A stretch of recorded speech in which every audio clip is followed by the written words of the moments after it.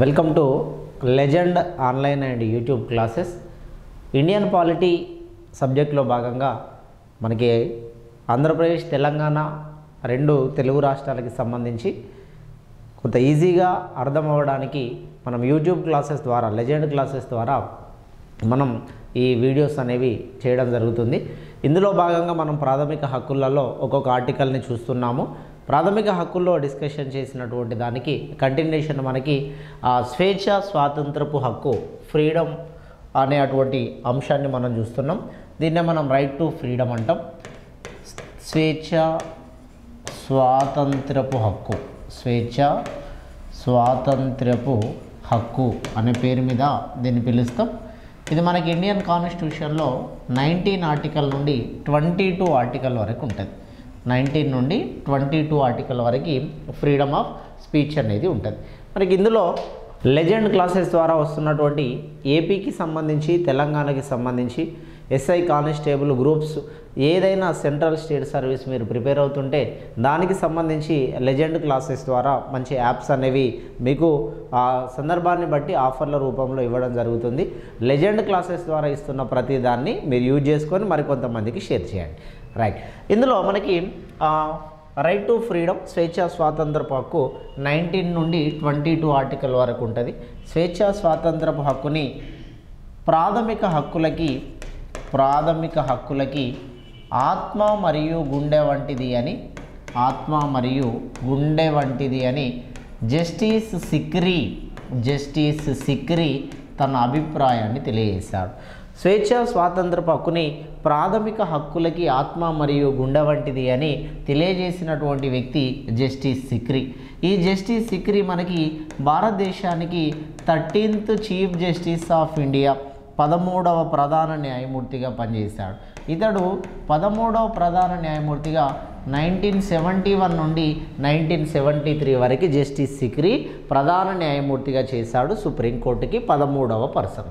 Right ప్రాథమిక హక్కులకి స్వేచ్ఛ స్వాతంత్రపు హక్కు ఆత్మ మరియు గుండె వంటిది. అంటే ఇంత ఇంపార్టెంట్ అనేటువంటి విషయాన్ని జస్టిస్ సిక్రీ తెలియజేసినాడు. అయితే ఇందులో భాగంగా మనకి ప్రాథమిక హక్కులు ప్రాథమిక హక్కులు భారత రాజ్యాంగానికి ఆత్మ మరియు గుండె వంటిది. హార్ట్ అండ్ సోల్ ఆత్మ మరియు గుండె వంటిది అని మనకి ఇద్దరు వ్యక్తుల అభిప్రాయం తెలియజేశారండి. ఒక అంబేద్కర్ ఒకరు అంబేద్కర్ మరియు నెహ్రూ వీళ్ళిద్దరు కూడా ప్రాథమిక హక్కులు భారత రాజ్యాంగానికి ఆత్మ మరియు గుండె వంటిది అని ఆత్మ గుండె అంటే అంత ముఖ్యమైనవి అనేటువంటి విషయాన్ని అంబేద్కర్ మరియు నెహ్రూ ఇద్దరు కూడా తెలియజేసినారు. ఇక తర్వాత మనకి రాజ్యాంగ పరిహారపు హక్కు అనేది ఉంటుంది. రాజ్యాంగ పరిహారపు హక్కు. కాన్స్టిట్యూషనల్ రెమెడీ అంటాం. Right to constitutional remedy. Right to constitutional constitutional remedy అనేటువంటి పేరు మీద దీన్ని పిలవడం జరుగుతుంది. రాజ్యాంగ పరిహారపు హక్కు అనేది ప్రాథమిక హక్కులకి ఆత్మ మరియు గుండె వంటిది అని ఆత్మ మరియు గుండె వంటిది అని మనకి తెలియజేసినటువంటి వ్యక్తి అంబేద్కర్ తెలియజేయడం జరిగింది. అంటే నేను ఇక్కడ ఏ పాయింట్ని సెంట్రల్గా తీసుకుంటున్నానంటే ఆత్మ మరియు గుండె వంటిది అని ఏ అంశాన్ని ఎవరెవరు ఏ ఏ సందర్భాలలో చెప్పినారు అనేది చెప్తున్నాం. మనకి స్వేచ్ఛ స్వాతంత్రపు హక్కు ప్రాథమిక హక్కులకి ఆత్మ గుండె వంటిది అని జస్టిస్ సిక్రీ చెప్పినాడు. ప్రాథమిక హక్కులు మొత్తం భారత రాజ్యాంగానికి ఆత్మ గుండె వంటిది అని అంబేద్కర్ నెహ్రూ చెప్పినాడు. రాజ్యాంగ పరిహారపు హక్కు ప్రాథమిక హక్కులకి ఆత్మ మరియు గుండె వంటిది అని కూడా అంబేద్కర్ తెలియజేసినాడు.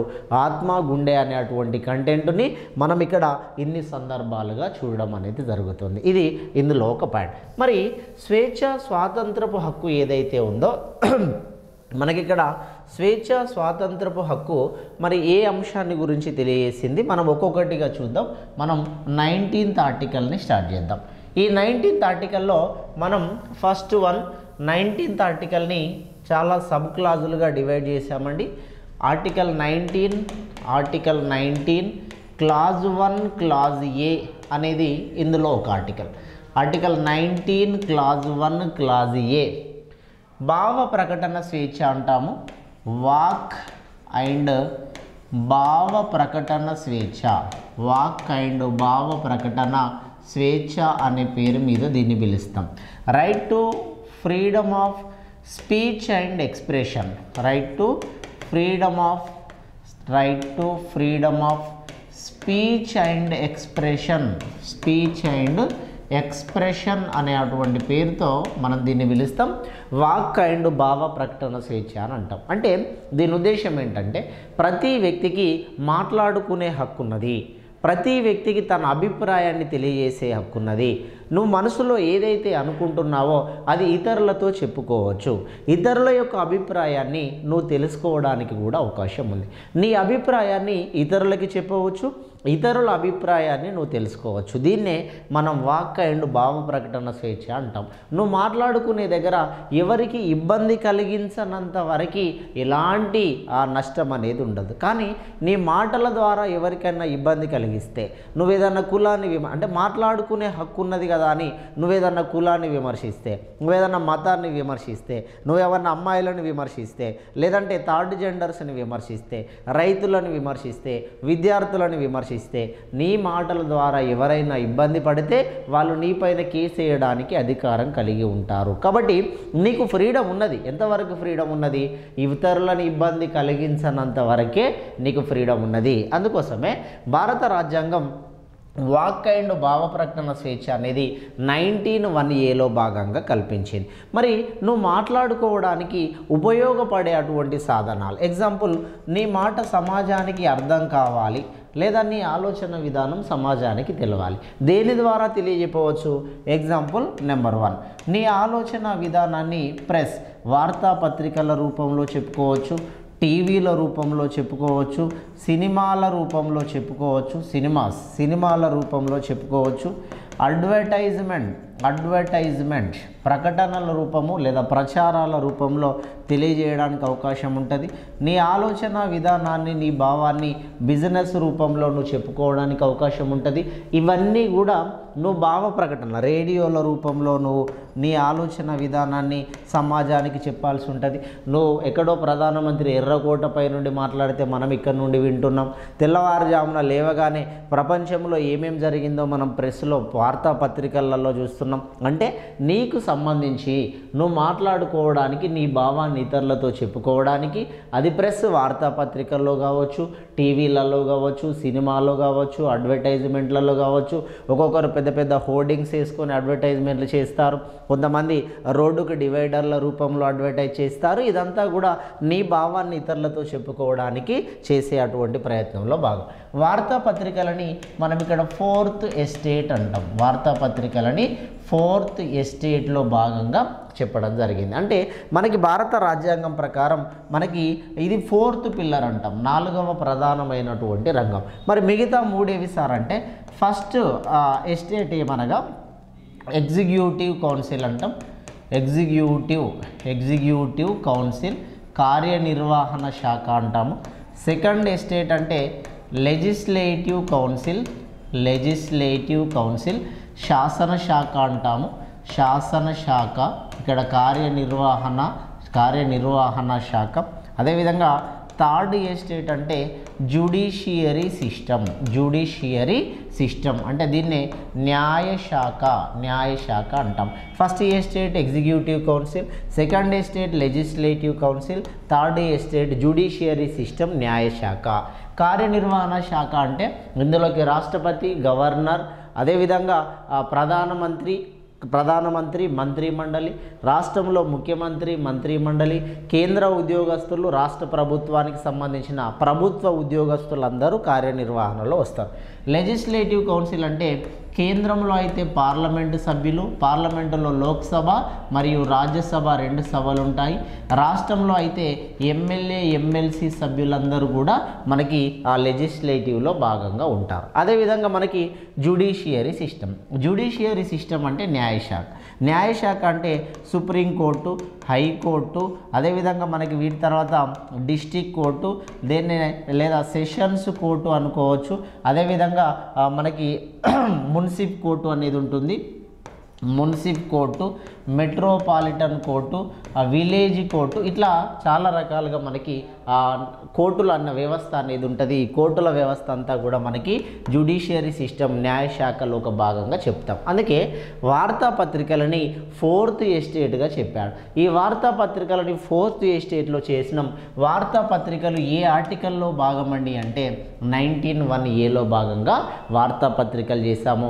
నువ్వు మాట్లాడాలనుకునేటువంటి విషయాన్ని ఇక్కడ మనం సెవెంత్ వన్లో మొబైల్స్ సెల్ ఫోన్లు కూడా ఇప్పుడు సెల్ ఫోన్లు కూడా మనకి వార్తాపత్రికల్లో ఒక భాగం భాగమే. ఎక్కడో వేరే రాష్ట్రంలో ఉండే అటువంటి వేరే దేశంలో ఉండే అటువంటి పర్సన్స్తో కూడా మనం మాట్లాడుకోగలుగుతున్నామంటే దీనంతటికీ ప్రధాన కారణం మనకి వాక్ అండ్ భావ ప్రకటన. ఎవరైనా ఎవరితోటైనా మాట్లాడుకోవడానికి అవకాశం కల్పించినటువంటిది Indian constitution.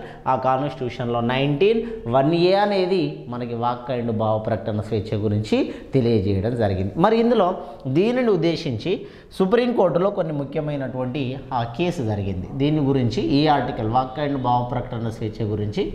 Naveen Jindal Naveen Jindal versus union of India అనేటువంటి కేసు రెండు వేల రెండులో నవీన్ జిందాల్ గురించి ఒక కేసు జరిగింది. Naveen Jindal versus union of India case. దీనినే నేషనల్ ఫ్లాగ్ కేసు అంటాం. నేషనల్ ఫ్లాగ్ కేసు జాతీయ జెండా కేసు అని చెప్తాం. దీన్ని జాతీయ జెండా కేసు అంటాం. నవీన్ జిందాల్ అనేటువంటి పర్సన్ ఎవరైతే ఉన్నారో ఆ నవీన్ జిందాల్ ప్రైవేటు మెంబర్ అంటే గవర్నమెంట్ ఉద్యోగస్తుడు కాదు. ఆ గవర్నమెంట్ ఉద్యోగస్తుడు కానటువంటి నవీన్ జిందాల్ తన వ్యాపార కంపెనీ ముందు జనవరి ఇరవై ఆరు లేదంటే ఆగస్టు పదిహేను సందర్భంగా ఒక జెండా ఆవిష్కరణ చేస్తాడు. జెండా ఆవిష్కరణ చేయగానే కొంతమంది వచ్చి నన్ను అరెస్ట్ చేశారు ఈయన మీద కేసు నమోదు చేశారు. ఎందుకు అరెస్ట్ చేశారు అని అడిగినప్పుడు రెండు వేల రెండుకి ముందు రెండు వేల రెండుకి ముందు అంటే భారతదేశంలో రెండు వేల రెండు వచ్చేంత వరకు కూడా ఒక రిస్ట్రిక్షన్ ఉండేది. గవర్నమెంట్ ఉద్యోగస్తులు మాత్రమే జెండా ఆవిష్కరణ చేయాలి. గవర్నమెంట్ ఆఫీసు ముందు మాత్రమే జెండా ఆవిష్కరణ చేయాలి. ఇక మిగతా వాళ్ళు ఎవరు జెండా ఆవిష్కరణ చేయొద్దు అనేది ఒక రెస్ట్రిక్షన్ ఉండే. గవర్నమెంట్ కంపెనీ నవీన్ జిందాల్ కాదు నవీన్ జిందాల్ గవర్నమెంట్ మనిషి కాదు అంటే ఉద్యోగస్తుడు కాదు. కాబట్టి ఈ రెండు అంశాలు ఈ రెండు అధికారాలు నవీన్ జిందాల్కి లేవు కాబట్టి నవీన్ జిందాల్ జెండా ఆవిష్కరణ చేసినప్పుడు నవీన్ జిందాల్ మీద కేసు అయింది. అప్పుడు నవీన్ జిందాల్ సుప్రీంకోర్టుకి ఒక అప్పీల్ చేసుకున్నాడు. నేను భారతీయ పౌరుడని కాదా? నేనేం తప్పు చేసిన. జాతీయ జెండా ఆవిష్కరణ చేసుకోవడం నేను చేసిన తప్పు ఎట్లా అవుతుంది? నాకు జెండా ఎత్తుకునే అధికారం లేదా? మీరు ప్రాథమిక విధులు ఉంటాయండి. మనకి ఇండియన్ కాన్స్టిట్యూషన్ ప్రకారం ఫండమెంటల్ డ్యూటీస్ ఉంటాయి. ఫండమెంటల్ డ్యూటీస్ ప్రాథమిక విధులు అంటాం. ప్రాథమిక విధులు మనకి ఇండియన్ కాన్స్టిట్యూషన్లో పదకొండు ప్రాథమిక విధులు ఉంటాయి. ఈ పదకొండు ప్రాథమిక విధులలో మనకి ఫస్ట్ డ్యూటీ ప్రకారం మొదటి ప్రాథమిక విధి అనేది మనకి ఏం అంశాన్ని తెలియజేస్తుందంటే జాతీయ గీతాన్ని జాతీయ గీతము జాతీయ గేయము రాజ్యాంగము రాజ్యాంగము జాతీయ పతాకము జాతీయ పతాకము వీటిని గౌరవించాలి అని ఉంటుంది. జాతీయ గీతము గేయము రాజ్యాంగము జాతీయ పతాకము వీటిని గౌరవించాలి అని ఉంటుంది. మరి ప్రాథమిక విధులలో గౌరవించాలి అని ఉన్నది కదా మరి నేను జెండా ఆవిష్కరణ చేసుకొని గౌరవిస్తే తప్పెట్లా అవుతుంది అని నవీన్ జిందాల్ సుప్రీంకోర్టుకి చెప్పాడు. అప్పుడు సుప్రీంకోర్టులో అప్పీల్ చేసుకుంటే సుప్రీంకోర్టు చెప్పింది రెండు వేల రెండు సంవత్సరం నుండి నేషనల్ ఫ్లాగ్ కోడ్ అనేది అమల్లోకి తీసుకొచ్చారు. నేషనల్ ఫ్లాగ్ కోడ్ ఏదైతే ఉందో దీన్ని ఇంప్లిమెంటేషన్లోకి తీసుకొచ్చారు. దీన్ని అమల్లోకి తీసుకొచ్చారు. రెండు వేల రెండు నుంచి నేషనల్ ఫ్లాగ్ కోడ్ జాతీయ జెండా కోడ్ అనేది అమల్లోకి వచ్చింది. ఇయర్ గుర్తుంచుకోండి. రెండు వేల రెండులో జాతీయ జెండా కోడ్ అమల్లోకి వచ్చింది. మరి జెండా కోడ్ అమల్లోకి వచ్చినప్పటి నుండి ఏం చెప్పారు? ఇక నుంచి ప్రభుత్వ ఉద్యోగస్తులే కాకుండా ఇక నుంచి ప్రభుత్వ ఆఫీసు ముందే కాకుండా ప్రైవేట్ ఆఫీసుల ముందు బిజినెస్ కంపెనీల ముందు ప్రైవేట్ పర్సన్స్ వాళ్ళు ఎవరైనా కావచ్చు కొన్ని అర్హతలు కలిగిన చేసినటువంటి వ్యక్తులు కొన్ని ఆ, నిబంధనలని పాటిస్తూ అంటే ఆ జెండాకి ఆ సరౌండింగ్లో అంటే జెండాకి చుట్టుపక్కల వేరే ఏ రాజకీయ పార్టీ జెండా మన జాతీయ జెండా కంటే పెద్దగా ఉండొద్దు అనేటువంటి కొన్ని రిస్ట్రిక్షన్ చేత నేషనల్ ఫ్లాగ్ కోడ్ అనేది ఈ దేశంలో అమల్లోకి తీసుకురావడం జరిగింది. అందుకే ఫండమెంటల్ డ్యూటీస్ ప్రాథమిక విధులలో ఫస్ట్ డ్యూటీని ఆధారంగా తీసుకొని నవీన్ జిందాల్ సుప్రీంకోర్టులో కేసు వేయడం జరిగింది. మీకు ప్రాథమిక విధులు వచ్చాయి కాబట్టి ఒక చిన్న పాయింట్. ప్రాథమిక విధులు ఇండియన్ కాన్స్టిట్యూషన్లో ఫోర్ క్లాజ్ ఏ అనే పార్ట్లో ఉంటాయి. నాలుగు క్లాజ్ ఏ అనే అటువంటి భాగంలో ఉంటాయి. ప్రాథమిక విధులన్నీ ఫిఫ్టీ వన్ క్లాజ్ ఏ అనేటువంటి ఆర్టికల్లో ఉంటాయి. ప్రాథమిక విధులు నాలుగు ఏ అనే భాగంలో ఉంటాయి. ప్రాథమిక విధులు యాభై ఒకటి ఏ అనే ఆర్టికల్లో ఉంటాయి. ప్రాథమిక విధులని నైన్టీన్ సెవెంటీ సిక్స్లో నలభై రెండవ రాజ్యాంగ సవరణ చట్టము కాన్స్టిట్యూషనల్ అమెండమెంట్ యాక్ట్ ప్రకారం ఇందిరాగాంధీ ఇందిరాగాంధీ ప్రాథమిక విధులని రాజ్యాంగంలో చేర్చింది. ప్రాథమిక విధులు ఇండియన్ కాన్స్టిట్యూషన్ ప్రకారం ప్రారంభంలో ప్రాథమిక విధులు పది ఉండేవి ప్రస్తుతం ప్రాథమిక విధుల సంఖ్య పదకొండు విధులు ఉన్నాయి పదకొండవ విధి ఎనభై ఆరవ రాజ్యాంగ సవరణ చట్టం ద్వారా రెండు వేల రెండు సంవత్సరంలో గౌరవ అటల్ బిహారీ వాజీపేయి గారి కాలంలో పదకొండవ విధిని యాడ్ చేశారు. ఈ పదకొండవ విధి ప్రకారం ఆరు నుండి పద్నాలుగు సంవత్సరాల లోపు పిల్లలకి ఉచిత నిర్బంధ విద్య కల్పించాలి. ఆరు నుండి పద్నాలుగు సంవత్సరాల లోపు పిల్లలకి ఉచిత నిర్బంధ విద్య కల్పించాలి. ఇది కల్పించాల్సినటువంటి బాధ్యత వారి యొక్క తల్లిదండ్రులపైన వారి యొక్క తల్లిదండ్రులు లేదా సంరక్షకులపైన ఆధారపడి ఉంటుంది అని చెప్పేసి అటల్ బిహారీ వాజ్పేయి గారి కాలంలో ప్రాథమిక విధులలో పదకొండవ విధిని చేర్చడం జరిగింది. ప్రాథమిక విధులని రాజ్యాంగంలో చేర్చడానికి సర్దార్ స్వరణ్ సింగ్ కమిటీని వేశారు. సర్దార్ స్వరణ్ సింగ్ అనే పేరు మీద సర్దార్ స్వరణ్ సింగ్ అనే పేరు మీద ప్రాథమిక విధులని రాజ్యాంగంలో చేర్చడానికి నియమించబడినటువంటి కమిటీనే సర్దార్ స్వరణ్ సింగ్ కమిటీ అనేటువంటి పేరు మీద మనం పిలుస్తాం. ప్రాథమిక విధులని పరిశీలించడానికి వేసినటువంటి కమిటీని జేఎస్ వర్మ కమిటీ అని పిలుస్తాం. ప్రాథమిక విధులని రాజ్యాంగంలో చేర్చడానికి నియమించిన కమిటీ సర్దార్ స్వరణ్ సింగ్ కమిటీ. ప్రాథమిక విధుల పనితీరుని పరిశీలించడానికి నియమించిన కమిటీ మనకి జేఎస్ వర్మ కమిటీని మనకి వేయడం జరిగింది. అంటే నవీన్ జిందాల్ అన్నటువంటి పర్సన్ ఎవరైతే ఉన్నారో ఆ నవీన్ జిందాల్ ప్రాథమిక విధులని ఉద్దేశిస్తూ ఆయన ప్రధానంగా సుప్రీంకోర్టులో అప్పీల్ చేస్తే అప్పటి నుండి నవీన్ జిందాల్ని ఆధారంగా తీసుకొని సుప్రీంకోర్టు ఒక ఉన్నతమైనటువంటి జడ్జిమెంటు ఇవ్వడం జరిగింది. ఇది నవీన్ జిందాల్ వాక్ అండ్ భావ ప్రకటన స్వేచ్ఛకి సంబంధించి. ఇక తర్వాత Maneka Gandhi Maneka Gandhi versus union of India nineteen seventy eight. Maneka Gandhi versus union of India nineteen seventy eight. Walk and భావ ప్రకటన స్వేచ్ఛకి వాక్ అండ్ భావ ప్రకటన స్వేచ్ఛకి భౌగోళిక పరిమితులు ఉండవు. భౌగోళిక పరిమితులు ఉండవు. భౌగోళిక పరిమితులు ఉండవు.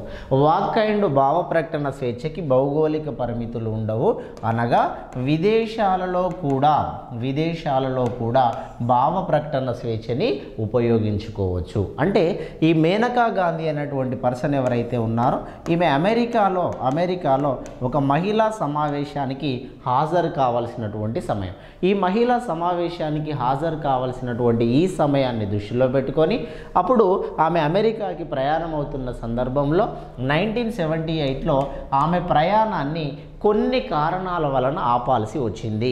అవి ఆరోగ్య కారణాలు కావచ్చు లేదంటే ప్రభుత్వం కొంతమందిని నిర్బంధించడానికి పెట్టిన రిస్ట్రిక్షన్ కావచ్చు ఆ విమానయానాలన్నిటిని కూడా కొంత అప్పుడు ఆపివేశారు. ఆపివేసినప్పుడు నైన్టీన్ సెవెంటీ ఎయిట్లో గవర్నమెంట్ ఎవరిది అంటే Morarji Desai government. Nineteen seventy ఎయిట్లో Morarji Desai government. Morarji Desai nineteen seventy సెవెన్లో ప్రధానమంత్రి అయ్యాడు. నైన్టీన్ సెవెంటీ నైన్ వరకు కూడా నైన్టీన్ సెవెంటీ నైన్ వరకు మొరార్జీ దేశాయ్ ప్రధానమంత్రిగా కొనసాగినాడు. అయితే నైన్టీన్ సెవెంటీ ఎయిట్లో ఈ మేనకా గాంధీ అమెరికాకి వెళ్ళాల్సినటువంటి ఆ సందర్భాన్ని దృష్టిలో పెట్టుకొని ఆమె ప్రయాణాన్ని ఆపివేశారు. ఆమె ప్రయాణాన్ని ఎందుకు ఆపివేసినారు అని చెప్పేసి మేనకా గాంధీ నేను సుప్రీంకోర్టుకి ఆ, చెప్పుకుంటా నాకు ఆ వాక్ అండ్ భావ ప్రకటన స్వేచ్ఛ ఉన్నది అని చెప్పేసి మేనకా గాంధీ సుప్రీంకోర్టుకు చెప్పింది. అప్పుడు సుప్రీంకోర్టు మేనకా గాంధీకి రిప్లై ఇస్తూ భావ ప్రకటన స్వేచ్ఛకి భౌగోళిక పరిమితులు అనేవి ఉండవు. ఇది విదేశాలలో కూడా ఉపయోగించుకోవచ్చు.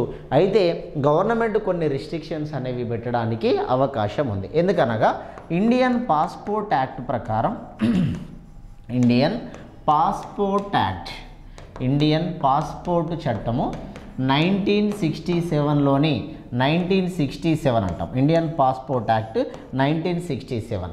Indian passport act nineteen sixty seven ప్రకారం కొన్ని సబ్సెక్షన్ల ప్రకారం ఏముంటుంది అని అంటే ఎందుకు ఈ ప్రయాణాన్ని ఆపేస్తున్నాము అనేది ప్రభుత్వం కొంత రహస్యంగా ఉంచవచ్చు అది అందరికీ బహిర్గతంగా చెప్పాల్సినటువంటి అవసరం లేదు.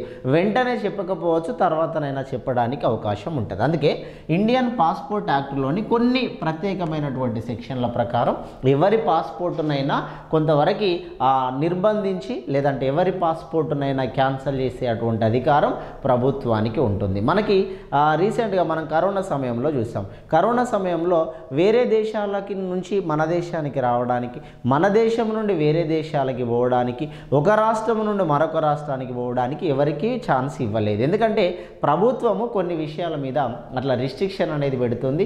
ఆ రిస్ట్రిక్షన్ పెట్టడం అనేది ఎక్కడా కూడా రాజ్యాంగానికి విరుద్ధం కాదు. అదేవిధంగా భారతదేశంలోని ఎవరి మానసిక అంటే మనోవేదనకి గురి చేయడానికైతే అలాంటి అవకాశాలు ఉండవు అనే ఉద్దేశం మీద దీన్ని తీసుకోవడం జరిగింది. మేనకా గాంధీ కేసులో చెప్తాం. ఈ మేనకా గాంధీ మేనకా గాంధీ ఎవరండి మనకి భారతదేశంలో? ఇందిరాగాంధీ యొక్క కోడలే మేనకా గాంధీ. ఈ ఇందిరాగాంధీ యొక్క కోడలు మేనకా గాంధీ సంజయ్ గాంధీ యొక్క భార్య సంజయ్ గాంధీ సంజయ్ గాంధీ యొక్క భార్య మేనకా గాంధీ. ఈ సంజయ్ గాంధీ ఎవరండి? సో ఇందిరాగాంధీ యొక్క కొడుకు. ఇందిరాగాంధీ యొక్క కొడుకే సంజయ్ గాంధీ. ఇందిరాగాంధీకి ఇద్దరు కొడుకులు ఒక ఆయన రాజీవ్ గాంధీ రెండో ఆయన సంజీవ్ గాంధీ. ఆ రాజీవ్ గాంధీ కుటుంబం అంతా కాంగ్రెస్లో ఉంది. సంజయ్ గాంధీ మరణించిన తర్వాత వాస్తవానికి ఇందిరాగాంధీతో ఎక్కువ రాజకీయాలలో పార్టిసిపేషన్ చేసింది సంజయ్ గాంధీ. ఈ సంజయ్ గాంధీ నెక్స్ట్ ప్రధానమంత్రి కావాలని కలగంటే కొన్ని అనివార్య కారణాల వల్ల విమాన ప్రమాదంలో సంజయ్ గాంధీ చనిపోయాడు. ఆ సంజయ్ గాంధీ మరణించిన తర్వాత సంజయ్ గాంధీ మరణానికి ప్రధాన కారణం సంజయ్ గాంధీ మరణానికి ప్రధాన కారణం రాజీవ్ గాంధీ. ఆ రాజీవ్ గాంధీ చేసినటువంటి కుట్రని అని భావించినటువంటి మేనకా గాంధీ ఆ కాంగ్రెస్ పార్టీని వదిలేసి ఈమె బీజేపీ పార్టీలోకి పోయింది. అందుకే మేనకా గాంధీ మేనకా గాంధీ కుమారుడు వరుణ్ గాంధీ. మేనకా గాంధీ కుమారుడు వరుణ్ గాంధీ. వీళ్ళిద్దరు కూడా బీజేపీ పార్టీలోనే ఇంకా కొనసాగుతూ ఉన్నారు. నరేంద్ర మోడీ మొదటిసారి ప్రధానమంత్రి అయినప్పుడు టూ థౌజండ్ ఫోర్టీన్ గవర్నమెంట్లో కేంద్ర స్త్రీ శిశు సంక్షేమ శాఖ మంత్రి మేనకా గాంధీ. ప్రస్తుతం వరుణ్ గాంధీ ఎవరైతే ఉన్నారో ఈయన. లోక్సభలో మెంబర్గా కొనసాగుతూ అంటే ఎంపీగా కొనసాగుతూ ఉండడం అనేది జరిగింది. ఇట్లా ఆ మేనకా గాంధీ అన్నటువంటి పర్సన్ యొక్క నేపథ్యాన్ని మనం చూసాం. ఇక తర్వాత వాక్ అండ్ భావ ప్రకటన స్వేచ్ఛ. ఈమెకు మాట్లాడుకునే అటువంటి అధికారం ఉంది. తన భావాన్ని సుప్రీంకోర్టుకి చెప్పే అధికారం ఉంది కాబట్టి ఆమె సుప్రీంకోర్టులో అప్పీల్ చేసుకుంది. ఇక తర్వాత మనకి బ్రిజ్ భూషణ్ బ్రిజ్ భూషణ్ ఓన్లీ భావ ప్రకటన గురించి చెప్తున్నా నేను. Brij Bhushan versus union territory of Delhi nineteen fifty. Brij Bhushan versus union territory of Delhi. ఈ బ్రిజ్ భూషణ్ అనేటువంటి కేసులో భాగంగా Delhi Brij Bhushan versus union territory of Delhi అనే కేసులో సుప్రీంకోర్టు తన అభిప్రాయాన్ని తెలియజేస్తూ ఏమంది అంటే సెన్సార్షిప్ సెన్సార్షిప్ సెన్సార్షిప్ విధించడము అనేది ఫండమెంటల్ రైట్స్కి విరుద్ధము కాదు. సెన్సార్షిప్ విధించడము అనేది ప్రాథమిక హక్కులకి విరుద్ధం కాదు. మరి సెన్సార్షిప్ అనేది సినిమా రంగములో సినిమా రంగములో మనకి సెన్సార్షిప్ అనేది కనబడుతుంది. సెన్సార్షిప్ అనేది ఎందుకు విధిస్తారు అని అంటే ఈ సెన్సార్షిప్ అంటే ఒక సినిమా తీసిన తర్వాత ఆ సినిమాని బయటకి పబ్లిసిటీ చేయడానికంటే ముందు కొంతమంది ఆ పరిశీలకులు కూర్చొని ఆ సినిమాని ఫస్ట్ అబ్జర్వ్ చేస్తారు. ఆ పరిశీలకులు కూర్చొని అబ్జర్వ్ చేస్తే వాళ్ళనే సెన్సార్షిప్ టీమ్ అని అంటాం. ఆ పరిశీలకులలో కో ఎవరన్నా ఒకరికి ఆ టీవీ అంటే ఆ సినిమా ఏదైతే ఉంటుందో దాని మీద ఒక ఆలోచన వచ్చి ఇందులో ఏదన్నా కులాన్ని విమర్శిస్తున్నట్టున్నా ఇందులో ఏదన్నా మతాన్ని విమర్శిస్తున్నట్టున్నా ఇందులో ఎవరైనా వర్గాన్ని విమర్శిస్తున్నట్టున్నా అయితే ఈ సినిమా బయటికి వెళితే ఆ వర్గంతో ఆ కులంతో ఆ జాతులతో గొడవలు అవుతావు కాబట్టి ఆ పేరుని కట్ చేయండి లేదా ఆ సన్నివేశాన్ని కట్ చేయండి. సెన్సార్షిప్ అని అంటే కొన్ని రిస్ట్రిక్షన్స్ విధిస్తారు. ఈ పేర్ల మీద ఇట్లా ఏదన్నా డాట్స్ వచ్చేలాగా చేయండి. లేదంటే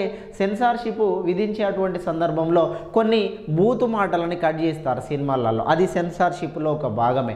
లేదంటే చూడకూడని ప్రదేశాలు. అంటే బికినీతో ఉన్నప్పుడు కానీ లేదా సముద్ర తీర ప్రాంతాలలో కొంతమంది ఒంటరిగా తిరుగుతున్నటువంటి సందర్భంలో కొంత ఆ డ్రెస్సు డ్రెస్సు చిన్న చిన్న డ్రెస్సులు వేసుకున్నటువంటి సందర్భంలో కానీ ఇట్లాంటివన్నీ వాళ్ళ ఫోటోల పైన వైట్గా ఇట్లా వైట్ డాట్స్ వేసినట్టుగా మనం మనకు కనబడుతూ ఉంటాయి. అంటే సెన్సార్షిప్ విధించినంత మాత్రాన మా ప్రాథమిక హక్కులకు ఇబ్బంది కలిగించిందని ఎవరు అనుకోవడానికి ఛాన్స్ లేదు. మా ప్రాథమిక హక్కులకు ఇబ్బంది కలిగిందని ఎవరు ఎట్లాంటి ఆ విషయాలని వాళ్ళు తీసుకోవడానికి ఛాన్స్ లేదు.